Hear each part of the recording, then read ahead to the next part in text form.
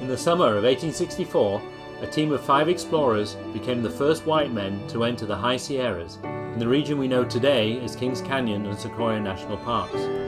Their goal, as part of the Whitney Survey, was to explore the Sierra Nevada and document their discoveries. Their journals capture in precise detail not only the route taken, but also their personal experiences of being the first people to enjoy the rugged beauty of these mountains. Little did they know how their expedition would unlock a great secret held by the mountains for millions of years, a jewel in the crown of the Sierras. So join us, following in the footsteps taken by William Brewer and his fellow explorers. We want to follow their route and summit the same peaks to relive their experiences. And above all, we want to retell a little known story about five audacious American pioneers. Look at this peak here. There's no doubt if we can summit this, this will be the hardest thing we have ever climbed. It's time to hit the trail, Elvis. Yeah, 48 pounds. 48 pounds, 10 day, exciting adventure. Yep. with the taxi service. Thank you so much. Sure. So here we are, August the 26th, 2022, in Big Meadows in uh, Sequoia National Park. Uh, but actually, also, it is uh, June the 22nd of 1864. We are standing on the same point where five intrepid explorers uh, stood 158 years ago as they were about to undertake an amazing hike into the high Sierras of Sequoia and Kings Canyon. They were the first explorers of this area. Awesome. So let's go do it. Let's do it. Well, I'm sure this wasn't here in 1864. In 1860, Josiah Whitney was appointed as California State Geologist with the following charter. With the aid of appointed assistants, create an accurate and complete geological survey of the state and publish a report including maps and diagrams with full scientific description of the rocks, fossils, soils, and minerals. In practice, the legislature was more interested in the discovery of minerals to replace the dwindling gold rush. Whitney, however, interpreted his remit with a much broader vision and hired a diverse team of cartographers, botanists, geologists, as well as mineralogists. To lead the field expeditions, he hired William Brewer from Yale University, and together they assembled a fine team of scientists. For the first three years, the Whitney survey travelled thousands of miles, crisscrossing the state, creating maps and documenting every detail, including gold, silver, and quicksilver mines. Having explored Yosemite and the northern Sierras up to Lake Tahoe in 1863, the plan for 1864 was to tackle the more rugged and unexplored high Sierras to the south. So in early summer 1864, William Brewer and his team of four others set off from San Jose and rode on their horses and mules across Pacheco Pass, uh, across the Fresno over a few days, and then up into the mountains to uh, spend a few days at Horse Corral and then Big Meadows, where we are today, before setting off into the complete unknown. The temperature is just right. It's perfect, isn't it? 75. Yeah, yeah, that's what I love about being up here at uh, seven or eight thousand feet. Our goal is to follow the route that Brewer and his team took across the southern Sierras and uh, compare what life must have been like in 1864 versus our trek today in, in modern times. There were no maps, no trails, no one pretty much had been into the high Sierras of what we now call Sequoia and Kings Canyon. There was no reason to come into the mountains, they were kind of just in the way. So Brewer's initial challenge was how to successfully discover a safe path through the mountains. How do you plan a route without getting lost or stuck in impassable terrain and without Google Earth to guide you? So Elvis, how's it going? Moving this 200 pounds body up this man. Without a path, hiking through here, you know, all you'd have is a compass basic general direction. You could get horribly confused as to where you were going. No maps, no GPS. All our intrepid explorers had was past experience of hiking where no one had hiked before. Crossing this terrain without a path was indeed challenging. We divided the baggage between all the animals and walked, for the way was terrible. At times it lay over and along the ridge, in forests of firs and pines, and then over rocky hills and up steep slopes, so steep that our animals could hardly cling to them. Remember last time we tried to get that little corner to the Marie Lake? Yes. Yes, and our navigation was all over the place. We were massively confused. Looking at our GPS. Yes, it took. GPS! We already had the GPS. And even with that, we still ended up on the wrong ridge. How are we going, Mr. Navigator? We're already halfway there. Wow, Yeah. that's good. Seems like we've only just got started. Hey, here's our first vista, Elvis. Look over to the left. Oh yeah. See our first range of mountains through the trees. We're nearly to the top of this ridge. Doing pretty well for a first day straight out of the car. Along the crest, 25 miles east, are rugged snow covered peaks we hope to explore. The western slope is rough in the extreme, and both the topography and aspect are unlike anything I've ever seen. The region is so very rough, I'm filled with anxiety of us achieving our goal.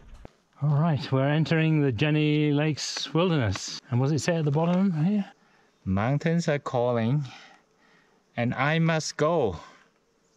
Elvis said that. I think you plagiarized that from Mr. Muir, John Muir. I thought you say this this would be a zoo. Nobody to be seen here. I thought the Jennie Lakes was quite popular. I mean, it's kind of just like when Brewer and Co came up here. Not a single person around. So I wonder if this gully here is perhaps the creek. Yeah, I think it's Oh well, this. I have some bad news for you. No campfires. Close to motor vehicles, hang gliders, and bicycles. Oh Okay. no! We're going to go up the trail here and see if there's some spot to pitch a tent. It's close to the creek. So we've had dinner on the rock. We have our tent set up a little precariously here, but we have a bag, rope up on the tree, and we ate our sandwiches. I think everything else is about set. So it's our first morning out in the mountains. Just had breakfast of oatmeal, and uh, we're now getting ready to pack up our camp and and start following the trail of these five great explorers from 1864. So it's now, I think, June the 28th of 1864. The reason why we started at Big Meadows was they uh, travelled across the Central Valley and up to Big Meadows and hung out there for about, uh, I think, about a week. There was quite a lot of activity down there. There were people cutting trees down. There was a friendly encampment of Indians. One of the explorers has an amazing account of a funeral procession for the for the wife of the Indian chief, uh, and they were collecting provisions because they knew they were going to be out in the wilderness for, for for a long time. They got all their gear together, did some uh, reconnoitering, by climbing some of the adjacent hills, and then um, from Big Meadows they really set a, set out into the unknown. So this seemed like an obvious place for us to start our following the footsteps because this is the point at which they're really leaving civilization behind and and and, and completely heading off into the into into the unknown wilderness.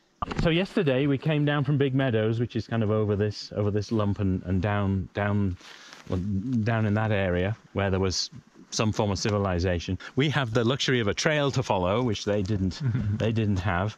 And and behind us here, which is hard to see with the sun, this this peak here is called Shell Mountain. And they walked anti-clockwise round this mountain down to a mountain range called the King's Kern Divide. King's Kern Divide is basically where all the rain on the eastern side flows into the Kings River, all the all the rain on the on the western side flows into the Kaweah. Um, and so our goal today is to walk around the Shell Mountain to a place called Jennie Lakes, which is close to where they where they camped. So it's 9:45. We're all set. And I'm sure it didn't take Brewer this long to get ready in the morning. You sure? All these animals. Is Yeah. horses and mules, or maybe it did take him longer. Jennie Lakes Wilderness, Sequoia National Forest. Take a picture. Working our way around Shell Mountain. In Big Meadows, they had stocked up on food supplies. I went to a hunter's camp and got 40 pounds of dried venison and bear meat, and then went on a hunt with him. He shot one deer, added to the three others he'd shot previously. He gave me the meat of two of them and packed them out where we could pick them up later.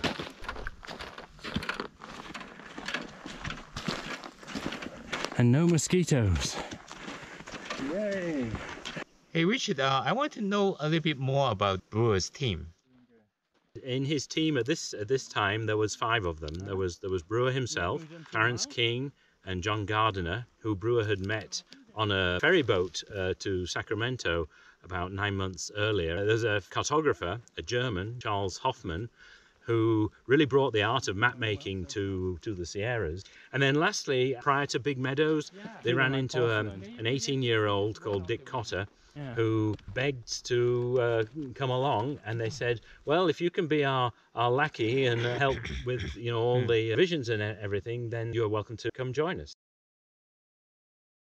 We think here we're probably close to the top of what's called Poop Out Pass. There's a high point for today, and then we'll hike down to Jennie Lakes. Right now, Brewer's biggest challenge was to find a vantage point to get a bird's eye view of the terrain. In prior years, he was able to rely on reports from previous explorers, Indian trails, and local knowledge. But this part of the Sierras was completely unknown. They had climbed lower local peaks that had provided some perspective, but gained little insight of a viable route through the mountains. Across of you, we can see the High Sierras for the first time. That's quite a vista. It's heading east. We're going down this valley and over that way over to Jennie Lakes. Okay, so we're getting close. Elvis reckons it's another 200 feet climb, maybe about third of a mile, half a mile, something like that. Yep. Oh, and then I'll be ready for some lunch. We usually eat venison three times a day, but today the boys shot a large Arctic owl, an enormous fellow. They dressed and cooked him. This is the first time I've eaten it, and it's nothing to brag about. Strong, tough, with a rather mousy taste. A easy day wasn't that easy. Took us three hours to cover just five miles. Oh boy, Don't show this to to our YouTuber audience. we're just getting into the zone, Elvis. Takes a few true. days. Takes a It's few the days. heaviest in terms of the backpack Yeah, and our belly. right. We have about 48 pounds of gear, so uh, it takes some hauling up the mountain. Yeah. So here we are at our campsite. We've had a fabulous swim in this nice warm lake.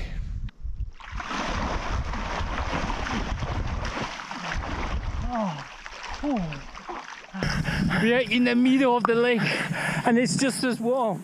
Fun, okay? How do you mean? what we had before that at most you can call it a thrill, okay? but this is fun. Give me more of these lakes, okay? From now on. All right. And we've had a nap in the tent. And so we're all recharged and we're now going to go do a spot of fishing. And tonight it looks like we may even have a campfire. Oh, wow, that.